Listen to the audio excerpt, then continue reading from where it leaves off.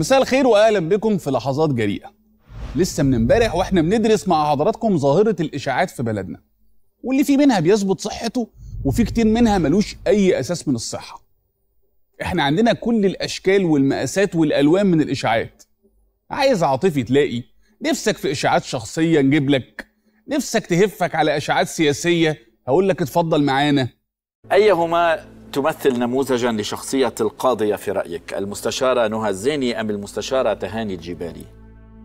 أعتقد المستشارة تهاني الجبالي لديها رؤية سياسية. يمكن في الجانب القانوني والقضائي نهى الزيني أكثر التزاما يعني قانونية وحقوقية أكثر.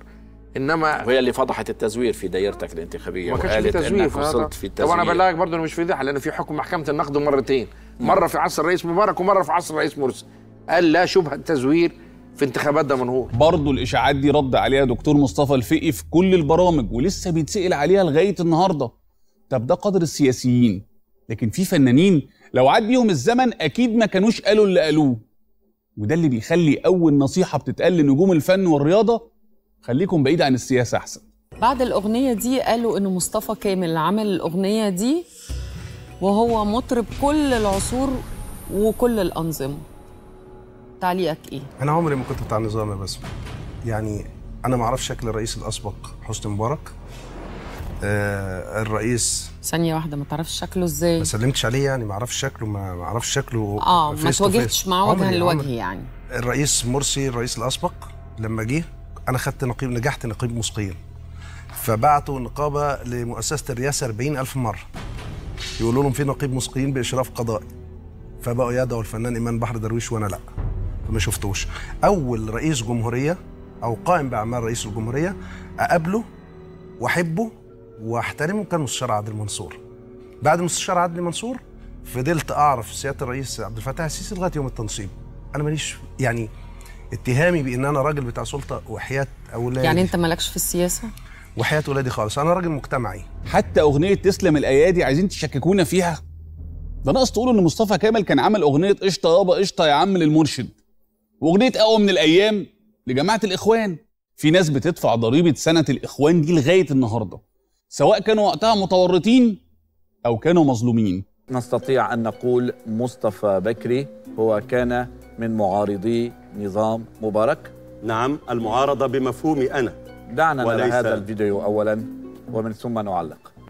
رسالة لكل مواطن مصري وعربي ليدرك عن يقين أن مصر جميعها تقف وراء الرئيس مبارك في مشروعه الوطني ومشروعه القومي في دفاعه عن الطبقات الفقيرة في دعمه للديمقراطية في تأكيده الدائم والمستمر وتبنيه لحرية التعبير وحرية الصحافة. مصطفى بكري أنت متهم بأنك معارض صوري تستخدمها الأنظمة لتبييض صفحاتها. مشكلة ناس كتير إنهم بيحكموا على الشخصيات العامة أحيانا بطريقة ولا تقربوا الصلاة. يعني لازم نعرف فلان ده لما أطلق تصريحه الخطير ده كان بيقوله إمتى وفين؟ وهل الظروف بعد كده اتغيرت وبناء عليها غير موقفه؟ ولا ده ما حصلش؟ أسألك في المقابل ما هو الثمن؟ هل الثمن أنني أصبحت وزيرا؟ أم رئيسا لتحرير صحيفة قومية؟ أم أي شيء؟ هذا كلام كان سنة 2000 لماذا لم تأتي بالفيديو سنة 2005 عندما قلت أن مبارك أجرى حوار مع عماد أديب وقال أنا تعبت خلاص شوفوا لكم رئيس غيري. وأنا قلت له وهذا أذيع على قناة الجزيرة وموجود على اليوتيوب لو كنت منصفا لجئت به قلت الآن حان وقت أن ترحل يا مبارك لأن بقاءك فيه إذلال للوطن في وفيه سنة؟ إذلال للأمة. سنة 2005 ادخل على اليوتيوب بعد زي ما أنت جبت ده. ماذا حصل بك عندما قلت هذا الكلام؟ كان هذا الكلام ثمنا لإسقاطي بعد ذلك في 2010 عندما حمل آه، سيد مشعل الذي كان ينافسني هذا الفيديو وذهب به إلى كل مكان. لماذا تغيرت بين ال 2000 وال 2005 ما الذي غيرك؟ غيرني هو موقف مبارك ذاته. مبارك بالتأكيد في فترات كان قد قدم إنجازات إيجابية. إلى حد ما كان على الأقل قريب من الناس. منذ أن جاء جمال مبارك ومشروعه مشروع التوريث منذ أن جاء رجال الأعمال وأصبح هناك خلط بين السلطة والثروة تغيرت الأمور. دول طلعوا اشاعه على الفنانة رغدة بأنها والعياذ بالله اتحالفت مع الشيطان. أنت متهمة من قبل الثوار السوريين بأنك وكما أطلقوا عليك شيطان 2012 وذلك بعدما قلته بأنك مستعدة للتحالف مع الشيطان. في وجه من يقف ضد الأسد. لا أنا ما قلت هيك. عندك تسجيل بتقدر ترجع له. أنا قلت أنا أتحالف مع الشيطان ضد حلف الناتو وضد التدخل الخارجي في أراضينا العربية. نعم. هذا ما قلته. عندك تسجيل بتقدر ترجع له كل الإشاعات دي عشان رجعت بلدها سوريا. أمال لو كانت راحت إسرائيل كانوا عملوا فيها إيه؟ حضرتك سافرت وغنيت في إسرائيل وسافرت كمان على الخطوط الجوية الإسرائيلية. مش ده مش ده حصل؟ لا. لا المعلومة غلط. سافرت على مصر للطيران وغنيت آه، في حفل آه، افتتاح القناة الفضائية الفلسطينية. ليه نخلط بين دور الإعلامي ودور السياسي. الإعلامي ممكن يعمل لقاء مع الشيطان نفسه. الشيطان اللي كان شغال مع رغدة من شوية ده ده شغله هو شغله عرض الحقائق. الفاشلون دائما هم الذين يتهمون أي صحفي آه، متفوق يحصل على أي سبق صحفي لكي تشوهه والله ده الأجهزة آه، هي نعم. التي أعطته المستندات. أنت تعمل اللي أنت عايزه يا أستاذ وائل واللي يكلمك هات الدكتور سمير صبري. قوي هم اللي قالوا. يقولوا. أنا بحبهم يقولوا. يقولوا. نطلع فاصل.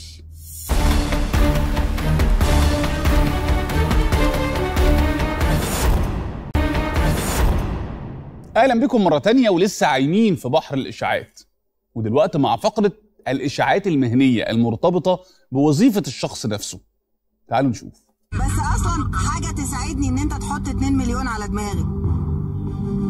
يعني تحط 2 مليون مقابل رأسي دي حاجة تساعدني جدا.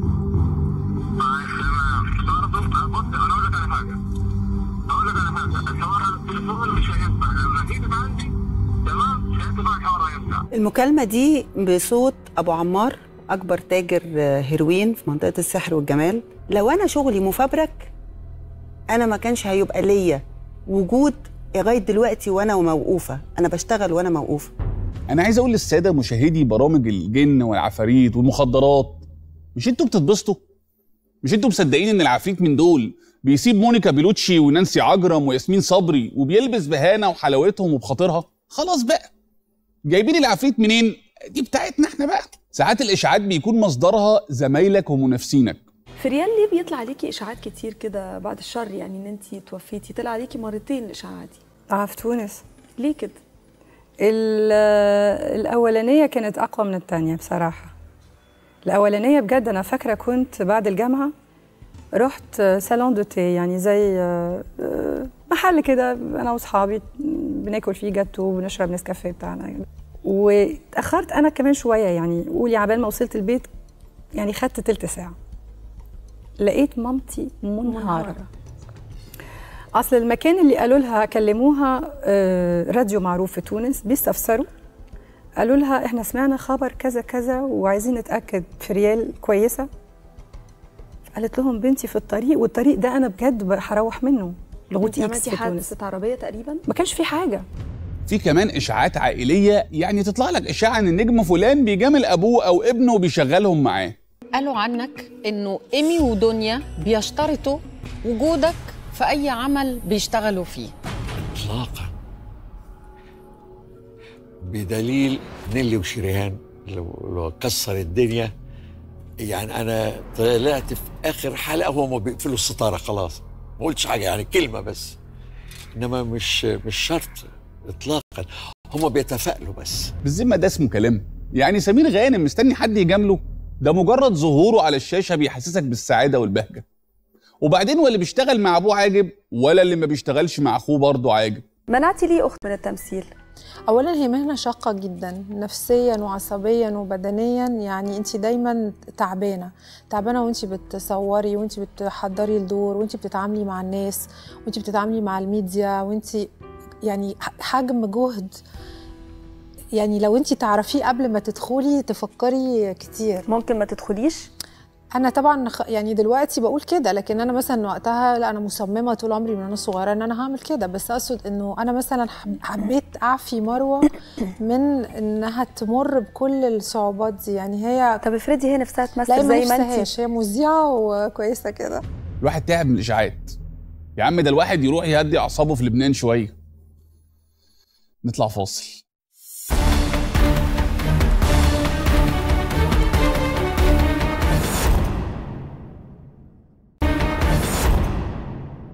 أهلا بيكم مرة تانية وصلنا لبنان عشان نشوف الإشاعات عندهم أخبارها إيه؟ يقول معارضوك إن حادثة اختطافك على طريق المطار في بيروت منذ أعوام لم تكن خلفياتها بريئة والهدف هو السرقة. إنما كان هناك خلفيات أخرى. شو صار معك؟ اللي صار معي إنه بسنة 2005 سنة اغتيال الرئيس رفيق الحريري وبعد أشهر شهرين فقط بأربع نيسان آه كنت على الطريق الساعة واحدة بالليل على روبوان طيونه آه لقيت سيارتين عم يعملوا سبق وراي لدرجة إنه رح يفوتوا فيي. زحت سكروا علي ونزلوا علي المسلحين وصارت العملية. شو صار؟ تعرضت لاغتصاب؟ لا. في اشاعات تانية مرتبطة بالمهنة نفسها. يعني أول ما أقول لك إني شغال في الإعلام أكيد بيجي في بالك طبعا الشرف والأمانة والصدق والإخلاص. أقسم بالله لا علاقة لي بالأجهزة الأمنية. آه والله العظيم خالص. وربنا خالص. مجدي. الناس بتتخيل إن مجدي. أنا علشان أنا عندي علاقة واحدة بأجهزة أمنية. بمين؟ برجل رائع جدا الله يرحمه اللواء حمدي عبد الكريم كان مساعد وزير الداخليه للعلاقات العامة والإعلام. وده بحكم شغلنا في الإعلام كنا أصدقاء وساكن جنبي في نفس المكان اللي أنا ساكن فيه وكنا أصدقاء عائلة وتوفي من سنتين ثلاثة أو من سنتين. فعلاقتي بالأجهزة الأمنية عايز أقول لك على حاجة في وقت من الأوقات في وقت من الأوقات كانت الأجهزة الأمنية عايزة تولع في مجدي الجلاد. ومش كل الإشاعات كده ساعات أصحابها بيعترفوا بيها بمنتهى الفخر. يقولون إذا بليتم بجد يهودي فاستتروا. أنا رد بقى؟ آه، مش أنا الحرد طيب أه الحقيقة هذا ما كتبته علا السعدني في جريدة الأهرام. ده حصل والحقيقة إن أنا استأت جدا من الموقف ده.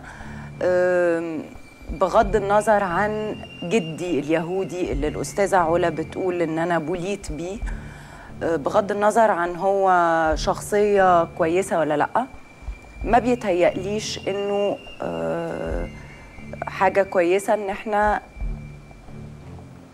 نتريق على أي حد لمجرد إن ديانته مختلفة. أه، لكن بيتهيألي إنه من قبل ما نرد أنا ووالدتي على الكلام ده أه، يوسف درويش رحمة الله عليه اتردد غيبته من ناس كتير عارفينه عارفين شغله وعارفين اللي عمله لمصر على مدار أه، أكتر من 70 سنة. اللي هو جدك. أيوه. نعم. عشان ما حدش يتهمنا بالعنصرية وبالتعصب يا ريت نفرق بين اليهودي الديانة والصهيوني التوجه. لأن الإشاعات هتفضل وراك وراك وفي كل المجالات حتى مع لعيبة الكورة. اتخانقت مع شادي محمد قريب على ال- على الفضائيات وكده؟ أنا اتخانقت مع شادي محمد؟ آه يعني وهو قال عليك كلام أنت دخلت رديت والكلام ده كله. لا لا لا ما ينفعش إن أنا أرد على حاجات زي كده. أنا قلت قبل كده دي أنا أكبر من إن أنا أرد على كلام زي ده و... هو قال عليك إيه؟ أنا مش عايز والله الموضوع ده إن أنا أسيبه تاني. لا هو طبعا هو طلع قال اتكلم إن أحمد حسن تقريبا في موقع آه، جماهير الأهلي إن أنا. ببعت لهم هدايا أنا ومانويل جوزيه ووائل جمعة هو ما قالش عليا أنا لوحدي. هو قال أنا ووائل جمعة وأمير عبد الحميد. ومانويل جوزيه إن إحنا بنبعت لهم هدايا عشان بتبعتوا هدايا للإعلام أو للموقع مش كده للموقع آه، للموقع آه للموقع عشان. هو يعني عشان يكتبوا عنكم كويس آه، عشان. يكتبوا عننا كويس طبعا هو يمكن وأنت بتبعت هدايا آه والله خالص والله. يعني للأسف يعني. أنا ما أعرفش طبعا هو ليه يعني خدت وقت تفكر؟ المفروض بتبعتوا هدايا؟ لا ما بنبعتش هدايا عادي. لا هو أنا خدت وقت أفكر إن أنا عايز أقول إن يمكن آه، آه، شادي للأسف. هو يعني آه، اتكلم كلام ما يصحش طبعا إن هو يقال وحتى هو حب بعد كده يقول إن أنا ما قلتش والكلام ده كله ولكن الكلام طبعا متسجل. أحلى حاجة الناس اللي بتكبر دماغها الناس اللي بتنفض باللغة بتاعت اليومين دول. يقول معارضوك إنك أثرت غضب الفنان الكبير عادل إمام بسبب تسريبك لأخبار الفيلم زهايمر يعني خليني أوضح لك لما آه. دخل أحد الصحفيين لمكان التصوير وهو صديق لإلك ما أثار غضب الفنان عادل إمام اللي قام بطرد الصحافي بعد ما علي صوته وأثير غضبه أنا ممكن ارد على السؤال ثلاث دقايق وممكن ارد بإجابة واحدة. وما حدش جالنا أساسا البلاتو ولا في حاجة من الكلام ده حصلت أصلا. وساعات تبقى ضحية لإشاعة وساعات تبقى مصدر ليها حتى لو بحسن نية. أنت مقتنع إنه سعاد حسني قتلت؟ قتلت؟ أيوه. أنا أنا أنا يعني نتيجة اللي أنا عملته إن هي حصل حاجة في الشقة خناقة ما عفرت فيها عشان كده الكدمات اللي كانت موجودة؟ كان في اشتباك. في اشتباك ما؟ وقعت اتخبطت راسها اللي هي الخبطة دي في كرسي في ترابيزة حاجة وماتت فوق. لأن الست اللي أنا كنت بكلمها اللي هي صاحبة الشقة دي كانت أحيانا حبيبتي ماتت هنا قدام عيني هنا. وبعدين أقول لها بعد شوية يعني. حضرتك قلتي كذا كذا تقول no no no no no I am confused ومفيش دموع نازلة. يعني إيه إيه إيه لكن مفيش دموع. أنت اليوم متأكدة أن سعاد حسني ماتت قتلا ولم تمت انتحارا؟ أنا لح... أنا من أول لحظة يا أستاذ توني وأنا متأكدة أن أختي اتقتلت ما هي مصلحة نادية يسري أن تظهر أن سعاد حسني قد انتحرت وهي فعلا قد قتلت؟ يعني عم بتقولي لأنها وبشكل متورطة آه، حضرتك متورطة. متورطة. كيف تكون نادية يسري متورطة بمقتل سعاد حسني؟ الحدث حصل في بيتها. نعم. وبتحكي حكايات ما حدث ما حصل في تدخلش بيتها. لأنها كانت تحب سعاد حسني وتستقبلها في دارتها وترعاها. الكلام ده مش مظبوط. حضرتك الأول كل اللي إحنا جبناه من لندن وحققنا فيه أنا والأستاذ عاصم في لندن. نعم. واكتشفناه إن المرحومة ما راحت لهاش طول فترة الأربع سنين إلا ثلاث مرات والرابعه يوم الحدث والثلاث مرات اللي كانوا قبل كده يعني عم بتقولي أنه سعاد حسني لم تكن تقيم عند نادية يسري لا كانت بتروح بس بعد ما بتخرج من المصحة نعم. للعلاج أو ما ب- الدكتور طيب. هو اللي كان بيو... يو بتروح بالليل وتمشي الصبح على المص- على المصحة لما تعرف إن جرائم بحجم اغتيال جون كينيدي أو السادات أو أحداث زي وفاة الملك فاروق أو عبد الناصر لسه ملفاتها ما اتقفلتش. هتعرف ساعتها إن السبب هو الإشاعات المبنية على شكوك وظنون والنتيجة إن محدش بقى عارف الحقيقة فين طول ما موجود أخينا ده اللي بيقول لك أشوفكم الحلقة الجاية.